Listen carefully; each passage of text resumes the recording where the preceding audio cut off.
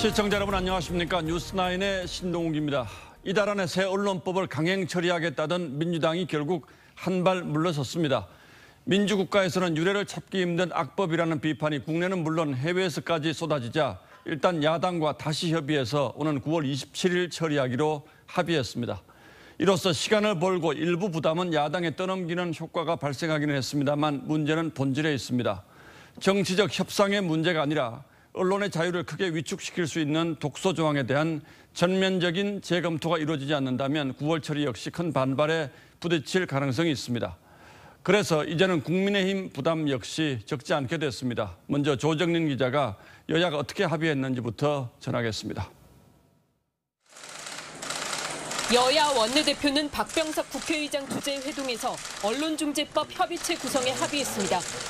협의체는 민주당과 국민의힘 의원 각 2명과 양당이 추천한 언론계 관계 전문가 2명씩을 포함한 8명으로 구성됩니다. 협의 기구를 통해서 원만한 어, 토론이고 단일한 수정안을 만드는 데 최선을 다하겠습니다.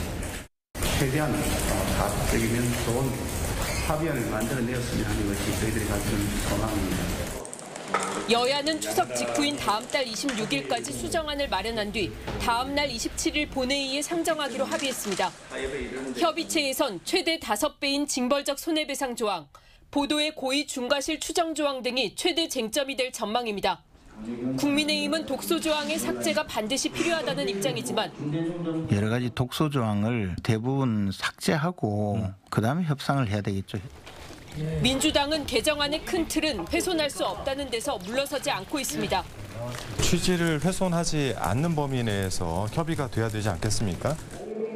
이런 가운데 여야는 오늘 본회의를 열고 언론중재법을 제외한 종부세법 개정안과 사학법 개정안을 통과시켰습니다. 또 야당 몫으로 국회 부의장과 7개 상임위원장을 선출했습니다. TV조선 조정른입니다.